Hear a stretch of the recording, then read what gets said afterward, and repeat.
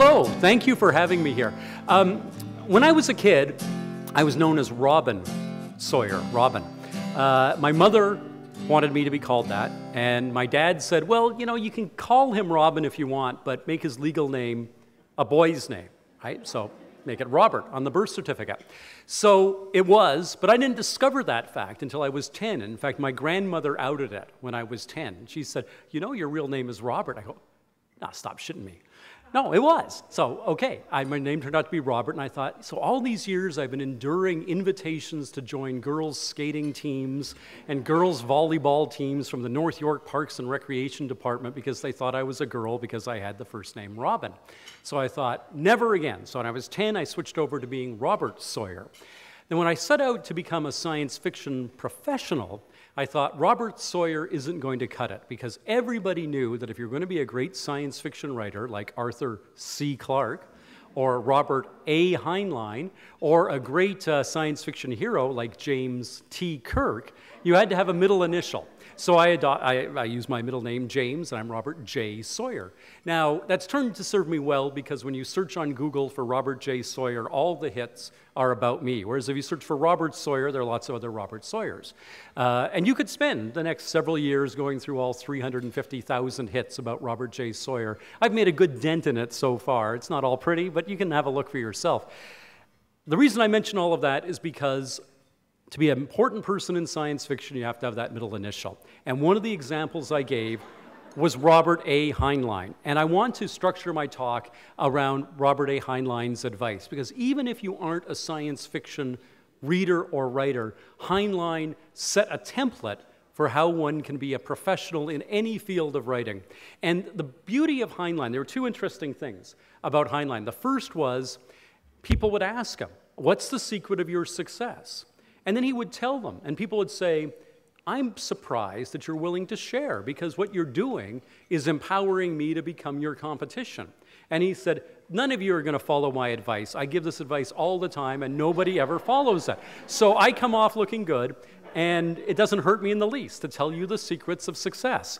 And I think that's actually true. I'm going to demonstrate it as we talk here. The other thing, though, that Heinlein said, and he was being more sincere when he said this, because for those who did follow his advice, they said at the end to him, afterwards, they said, Thank you, but how can I possibly repay you? And he said, quite rightly, You can't. There's not a single thing you, as a beginner, can do for me, the established old fart. There's nothing you can do for me. But you can not pay me back, but you can pay forward. When you're somewhere along the road toward where I am, turn around and help the next guy in line. And that's the holy tradition of being a writer. It is, you can, of course, go and study writing at university or college. You can and certainly be mentored uh, in a formal context, but traditionally, forever, it has been uh, a field in which we have relied not just on the kindness of our associates, but the kindness of strangers as well. And all I ask, if you get anything out of my, those who are at my workshop this morning, or you have a blue pencil with me this afternoon, or the talk I'm about to give now, or get anything from any of my colleagues who are speaking here this weekend, the way you pay us back is when you're in a similar place somewhere down the road, you turn around and pay back somewhere somebody else. You pay forward. That was Heinlein's greatest legacy. He's best known in science fiction writing circles for Heinlein's rules, and there are five of them. And I'm going to take you through those five rules and why they are so important. Now, um, I was told when I arrived here that there are about 100 people who have registered for the conference. You take everybody into account who's working on it, 140. There are 100 registrants for this conference, more or less. It's an interesting figure, and pay attention to that 100 as we go through this. Because Heinlein's first rule, rule number one, is you must write. And the astonishing thing is that so many people asked him, How do I become a writer? And they had never written anything.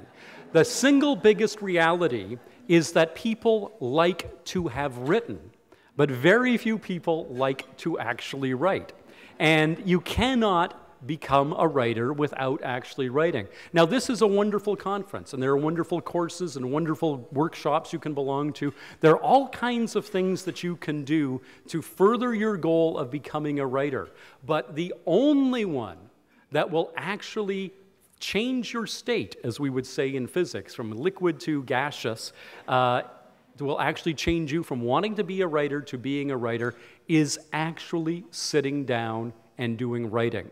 If at the end of this weekend, end of today, you go home and tell your loved ones that you had a great time and you were inspired and you had fun and you met interesting people and you ate a good meal, uh, all of that is nice. But if tomorrow you don't go to your keyboards, this event has been a failure.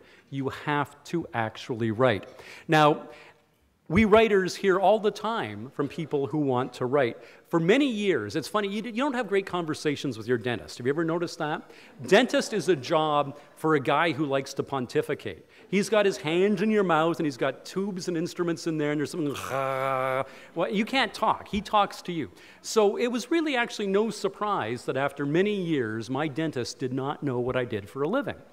And he finally asked me. There was one time where he was doing something where I could talk, and he said, So, what do you do for a living? And he said, I'm a science fiction writer. I said, Really? And I said, Yes, I've published X number of novels and so on and so forth. And he said, Wow, you know, I always thought that when I retired, I would become a writer. Now, Wayne and Wason and Kathy, everybody over there, we live for these moments because this is the classic line, right? We're, we're waiting for the setup and we've got the punchline to knock it out of the park. And there he is. He says, Wow, when I retire, I thought, you know, I've always thought I'd become a writer. To which I said, Well, you know, when I retire, I always thought I'd like to become a dentist. My dentist did not miss a beat. His reply was, I can introduce you to the right people the last intelligent conversation I ever had with my dentist. We went back to him just putting things in my mouth. The point of all this is that you actually do have to do this thing called writing, and it is a sacrifice to do it. When people say to me, the subtext of that, oh, I always thought I would retire and do this, is that everything else in my life, up until the point at which I'm done with my career, I'm probably done with raising my children, done with everything else, then I might get around to being a writer. Those of us who have written and are published and are successful are those things because we made sacrifices in our day to day lives to get to where we are. That is the part that keeps people from taking Heinlein's first rule, which is you have to write. To have to write means you're not going to be at a social event. And you're not going to be out at a movie with your friends, and you're not going to be playing with your kids, and you're not going to be watching Flash Forward, your favorite TV series, Thursday nights at 8 on CTV. You're going to be actually alone in a room, pounding away at a keyboard in an act of pure creativity, without any feedback, without any support, and sacrificing from your life to do that. And if you don't make those sacrifices, you won't ever have written. Of the hundred people in this room who have come here and said, self selected, I want to be writers, who would shell out the money otherwise, right? There are other things to do with your money. Of the hundred of you who have said that, on average, only about half of you will actually write. You'll read Reader, Writer's Digest, you'll go to seminars, you'll belong to book clubs, you'll talk about your dream, you'll tell everybody that you're going to do it one of these days, you're going to do the great Canadian novel. Only half of you are going to put the seat of your pants in the seat of the chair and pound away at the keyboards in that act of sacrifice, taking time out of your life to do this sacred thing that's called writing.